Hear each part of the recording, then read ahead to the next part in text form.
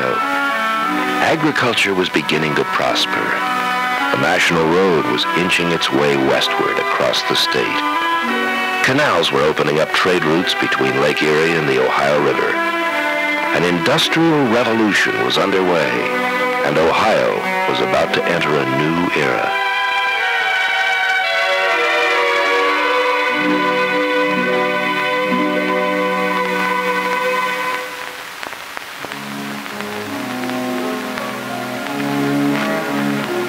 From the beginning, people were attracted to Ohio by its plentiful resources.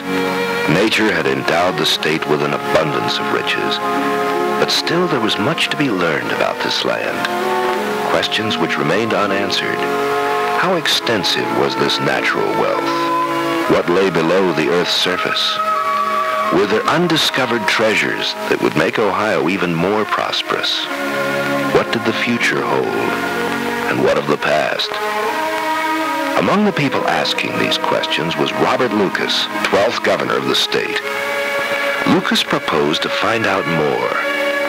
And in 1835, he recommended the establishment of an Ohio Geological Survey. A committee headed by Dr. Samuel Hildreth of Marietta was appointed to look into the matter. Hildreth was one of the best informed men in Ohio on geology and natural resources.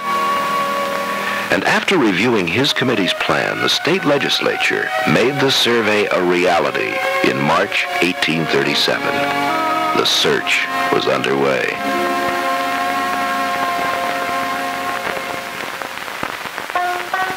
Selected to head up the enterprise was Dr. William W. Mather, a 33-year-old New Yorker who had led his classes at West Point in chemistry and mineralogy.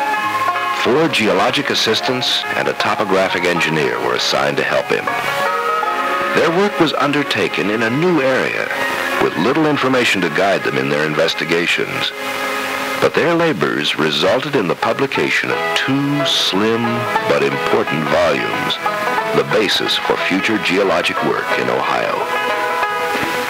But soon the work was brought to an abrupt halt. With the country gripped by financial panic, government expenditures were cut back. And for 30 years, research on the state's geology was largely ignored. What new information was gained was monopolized by those who paid for it. Every financial agent of the state took pains to gather information about Ohio's geology, and all deplored the fact that information was so meager. It wasn't until 1869 that research began anew with the distinguished J.S. Newberry as chief geologist. Under Newberry, the Geological Survey turned out a number of valuable reports. These included the first official geologic map of the state and a number of plates detailing many of the fossils which held the key to Ohio's geologic past. But this survey lasted only three years. And again, geologic research continued to be intermittent until a third survey was organized in 1889 by Dr. Edward Orton. Orton, who had assisted in previous work, was the first president of Ohio State University and also its first professor of geology. Under his guidance, the survey's research was put on a more continuous basis.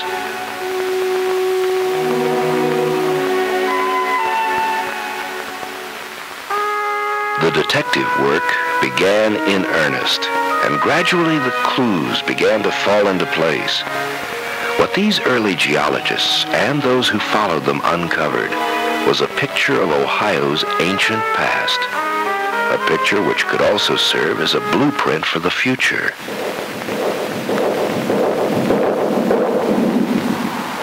Hundreds of millions of years ago, a vast inland sea covered the land that would one day become Ohio. The life-giving sun pumped its energy into the waters, and life flourished, multiplied, and died, becoming entombed in the slow but incessant rain of sediment that would one day form the rocks of Ohio.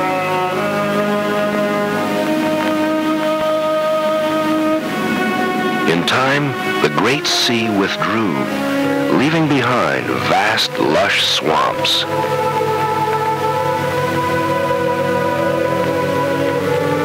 New forms of life emerged, only to die and become buried in the murky, plant-choked waters.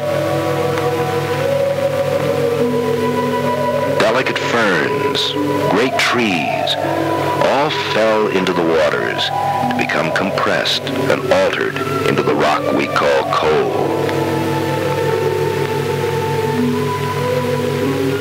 The coal swamps, as had the seas before them, eventually faded as the land began to rise ever so slowly. Great rivers meandered across the landscape, and sprawling reptiles roamed the vast floodplains. As the mighty Appalachians began their last slow rise, Ohio entered an obscure period for which there is no record in the rocks of the state. A lost interval of 160 million years when dinosaurs ruled the earth, only to vanish and be replaced by the mammals. Erosion, the great leveler, was stripping away rocks left behind by the seas and swamps, carving the landscape ever closer to its present form. After the passage of 200 million years, the balance of the seasons began to change. The Earth's climate grew cooler. The grip of winter gradually tightened till much of the land lay buried beneath ice and snow. Shaggy elephant-like mammoths and mastodons roamed the spruce forests.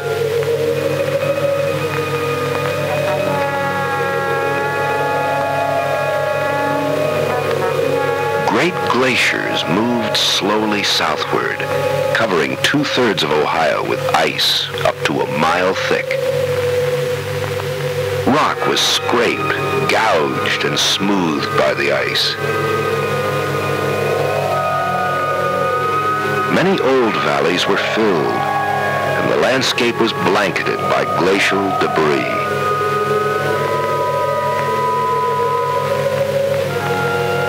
Our modern river system established, Lake Erie created, there lay revealed the Ohio we know so well.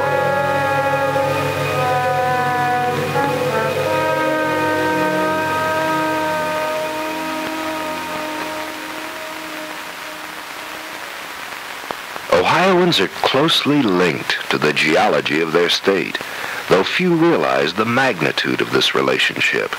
It affects where we live and how we live. Much of Ohio's prosperity is due to the abundant mineral resources in the state. Mineral resources which have drawn men to Ohio from the very beginning. The story of perhaps Ohio's earliest mineral industry begins here at Flint Ridge State Memorial in Licking County. For more than 10,000 years, ancient Indian tribes journeyed to this area to quarry flint for tools and weapons. It was highly valued, and trails led into Flint Ridge from every direction. Specimens from the area have been discovered on the Atlantic coast, in Louisiana, and as far west as Kansas City. Flint was also of vital importance to early Ohio settlers who used it for starting fires and in flintlock guns. In 1965, Flint's long and valuable service to the state was recognized when the rock was chosen Ohio's official gemstone. And today, Ohio Flint provides the raw material for colorful and beautiful jewelry. The Ohio Geological Survey played an important role in the exploration of Ohio's mineral resources, and the state's mineral industries developed rapidly in the early 1800s. One of the principal products was iron. Numerous charcoal iron furnaces sprang up in the state, primarily in the southern Ohio area known as the Hanging Rock District, once one of the great iron-producing centers of the United States. All the necessary materials for making iron were found in Ohio, and the forges and furnaces turned out a variety of products for a growing civilization, from household products to machinery to instruments of war. One of the more notable products of Ohio's iron industry was the ironclad ship the Monitor, which made naval history during the war between the states. Soon after the Civil War, Ohio became the leading iron-producing state in the nation. Because the state's iron ores were of relatively low quality, the introduction of rich Lake Superior iron ores spelled the end of the Hanging Rock era. By 1890, many of the old furnaces were in ruins. Remnants of these furnaces are still evident, and in Jackson County, the famed Buckeye Furnace has been restored as a state memorial, marking a significant period in the development of the state. Although Ohio is no longer a source of iron ore, its early start in the iron industry has enabled it to remain a leader in the production of iron and steel. Ohio has long held an important position in the ceramic and clay products industry, primarily because vast deposits of clay and shale, the basic ingredients for ceramic products, are widely distributed in the state. Early recognition of the value of these deposits by the Geological Survey and other researchers helped to establish a major ceramic industry. And former state geologist Edward Orton Jr is considered the founder of the science of ceramic engineering in America. Ohio was blessed not only with good clays, but the state's early settlers included many highly skilled workers who turned out a variety of products for the growing young country. Brickmaking came to Ohio in 1788 with the building of Campus Martius at the state's first permanent settlement in Marietta and has continued without interruption to the present.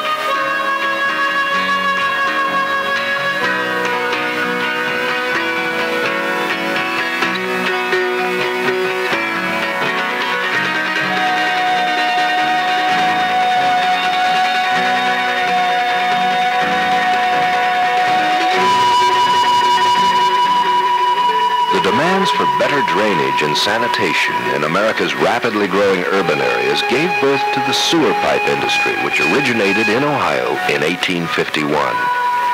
Since that time, Ohio has remained in the lead, both in the quality and quantity of output.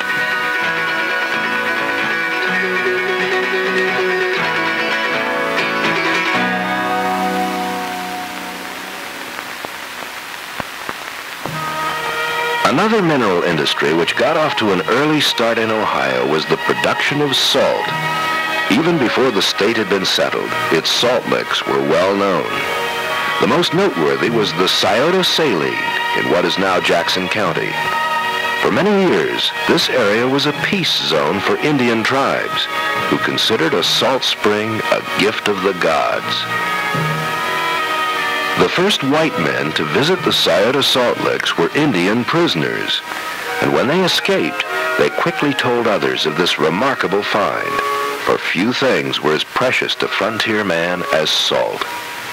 In fact, one of the first laws passed by the legislature in 1803 was aimed at regulating Ohio's salt industry.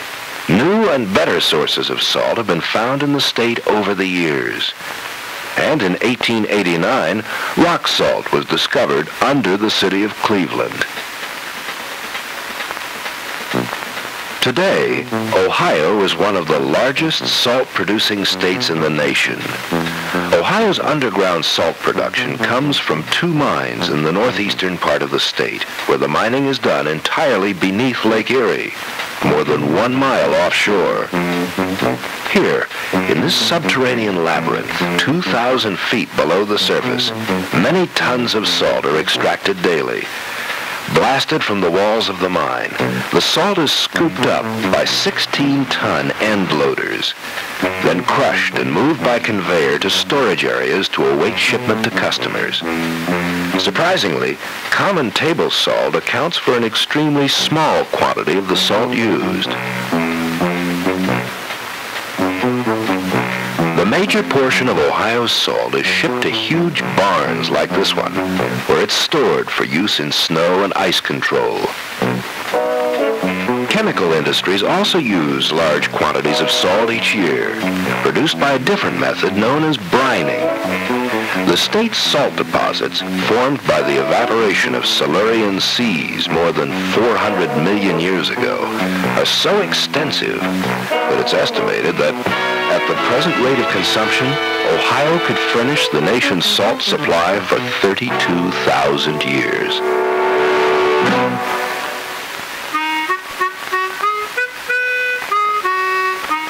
In man's search for salt, he's often come upon some other valuable mineral resources.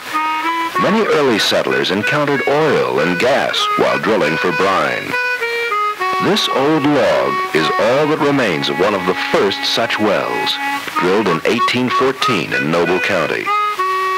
It was not, however, until 1860 that the commercial development of oil began in Ohio. But some decades later, oil production was booming, and for eight years, from 1895 to 1902, Ohio produced more oil than any other state. Ohio's natural gas industry also experienced a boom in the late 19th century, but with some unfortunate side effects. In the mid-1880s, the discovery of large reservoirs of natural gas near Findlay spread excitement throughout the area. The gas was thought to be inexhaustible, and gas torches and streetlights burned night and day.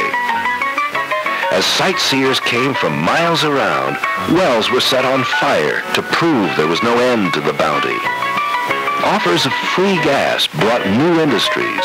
Findlay's population skyrocketed, and the residents felt the area was on its way to becoming the industrial center of the Midwest. But there was an end to the bounty, and it came quickly. Despite feverish drilling, the boom collapsed, and Findlay was faced with a gas shortage. Writing about the incident in 1890, state geologist Edward Orton made these observations. If the wasteful policy that is now so largely in force should be maintained, there is sure to be in at no very distant day great disappointment and reaction. Natural gas is merely a transient phase of the stored power of the earth. It is folly to talk of its taking anything like a permanent place in the work of the world. Today, the drills of Ohio's oil and gas industry are continually probing the rocks buried deep beneath the surface, searching for energy trapped hundreds of millions of years ago in the bodies of tiny plants and animals that lived in ancient seas. Ohio's oil and gas reserves are relatively modest, yet they provide a critical supplement to the dwindling supplies available to the state's industries and consumers. Ohio's most valuable mineral resource, coal, is the foundation upon which most of the state's industry and wealth have been built. From the time of the earliest settlements to the present day, despite cultural and industrial changes, coal has played an increasingly vital role in maintaining our high standard of living.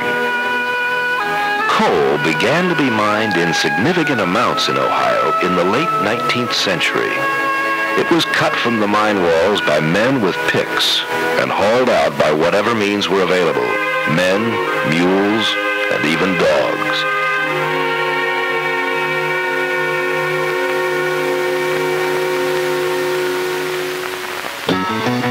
Prior to World War II, underground mining was the principal method of removing coal.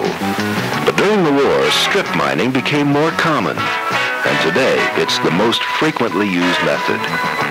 Some of the largest surface mining equipment in the world can be found working the hills of eastern and southern Ohio.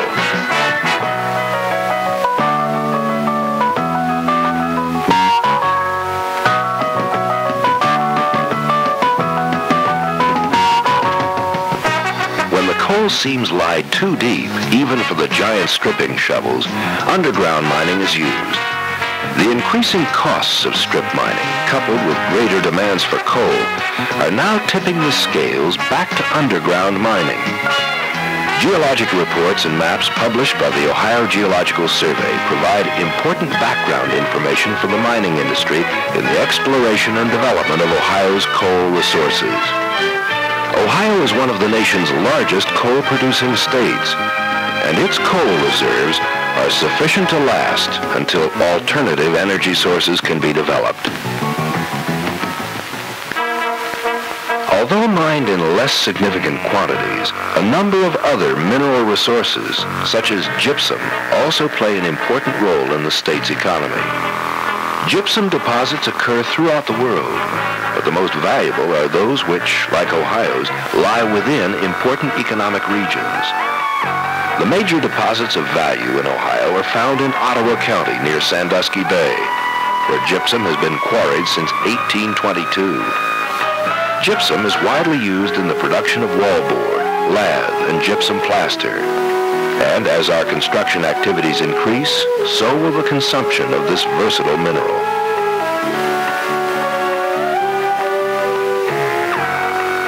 Ohio is a national leader in the production of limestone and dolomite, much of which comes from surface quarries in the western half of the state. This extensive area of thick limestones near the surface guarantees that the reserves of this mineral resource are large enough to supply our needs for hundreds of years. Millions of tons of limestone and dolomite are quarried each year in Ohio. These versatile rocks are processed into literally hundreds of products for use in agriculture, ceramics, steelmaking, lime, cement, and a host of other industries. Ohio's building stones have played a prominent part in the development of the state. And the contributions of sandstone to Ohio's early growth are evident everywhere.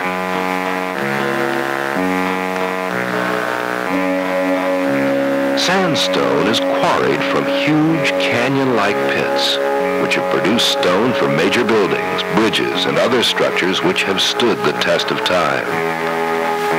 Ohio is one of the nation's leading sandstone producers, and although the use of sandstone has fallen off in the construction industry, new uses are constantly being found for this valuable mineral resource.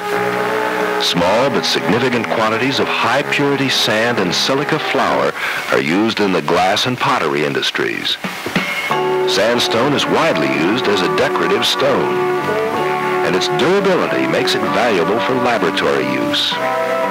One of the reasons that sandstone's use in the construction industry has declined has been the increased use of concrete. This has given new importance to Ohio's sand and gravel resources, which provide much of the aggregate raw materials for the construction industry. Ohio is one of the nation's leading producers of sand and gravel, but few realize the importance of these deposits to the economy.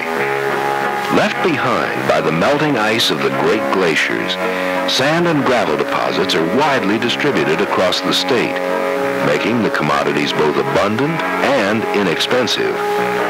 But our supplies are being threatened. Other uses are being found for the land underlain by these deposits. And today, the development of our sand and gravel resources is becoming a major problem. And so the search continues, and so do the questions. How shall we best use the land to provide maximum benefits to our people, both economically and environmentally? Sound answers are possible only with adequate data. A major portion of the scientific research needed to provide these answers is being undertaken by the Ohio Geological Survey, today a division of the Ohio Department of Natural Resources. Its scientists are continually at work gathering new information and updating old information. Information which comes from many sources, private industry, other governmental agencies, but most importantly, from the survey's own geologists. The research covers a broad spectrum of subjects with far-reaching implications for the future. For example, survey geologists are tackling the age-old problem of erosion on Ohio's Lake Erie shoreline. Erosion which threatens the economic well-being of thousands of lakeshore residents and which claims untold acres of valuable, irreplaceable land each year. Operating a 46-foot research boat from Sandusky, survey scientists collect data on a variety of geologic problems confronting the lakeshore region. With this information, the Geological Survey is able to assist hundreds of citizens and governmental and industry people every year with problems relating to erosion, development, mineral production, or planning. Geologic hazards, such as landslides, pose another threat to the well-being of Ohio's citizens. Improperly located homes, businesses, and highways can result in millions of dollars worth of property damage and untold human anguish. Information developed by survey geologists is being used to prevent future problems. A large volume of data is collected by field geologists who travel throughout the state, gathering information from a wide variety of sources. The measurements, observations, and samples taken at rock outcrops provide valuable information for a large number of geologic studies.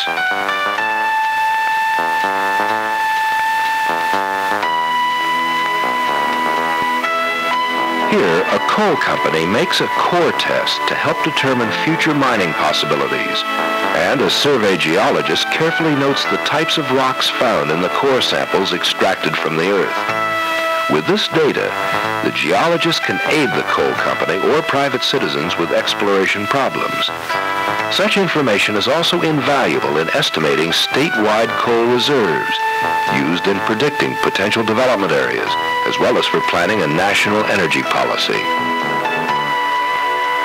At this strip mine site, geologists explore the exposed rock to find unweathered and uncontaminated samples necessary for chemical studies. These field samples are then taken to the survey's modern geochemical laboratories, where scientists employ a battery of sophisticated equipment to unlock even more of the Earth's secrets. For example, determination of the sulfur concentration in coal is useful in reducing air pollution. Other chemical elements are important to the future gasification or liquefaction of our coals.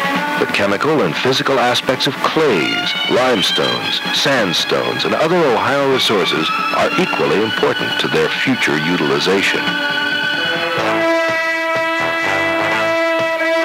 As a result of its own research, as well as data collected from other sources, the files of the Geological Survey are the major source of mineral resource and geologic information for industry, government, and private citizens. Much of this information is put into the form of publications covering a wide variety of geologic subjects. Interested citizens can obtain such things as technical and semi-technical reports, field trip guidebooks, educational leaflets, information on mineral resources, and reports on the geology of individual counties. In addition, the survey also distributes topographic and other types of maps covering the entire state. Over 100,000 maps, reports, and items of technical data are distributed to Ohioans each year. A figure which attests to the great interest in Ohio's geology and the wisdom of the explorations that began nearly a century and a half ago. The search will never end because our society is constantly changing there will always be new needs, new priorities, and new questions. And the search for the answers must continue.